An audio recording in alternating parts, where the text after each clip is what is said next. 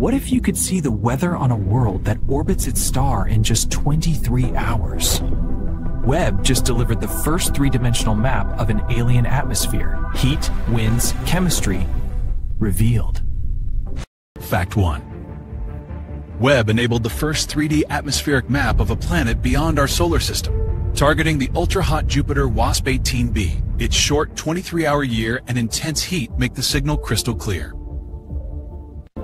Fact 2. On WASP-18b's dayside, heat is so extreme it breaks water into pieces, move into cooler layers and nightside winds, and those fragments recombine, chemistry switching with temperature and depth.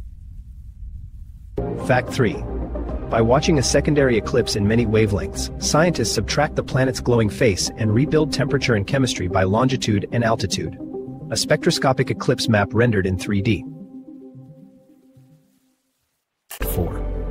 The 3D map challenges some climate models, showing smaller day-night temperature swings and likely roles for hydrogen dissociation, recombination, and night-side clouds, turning guesses about alien weather into measurements.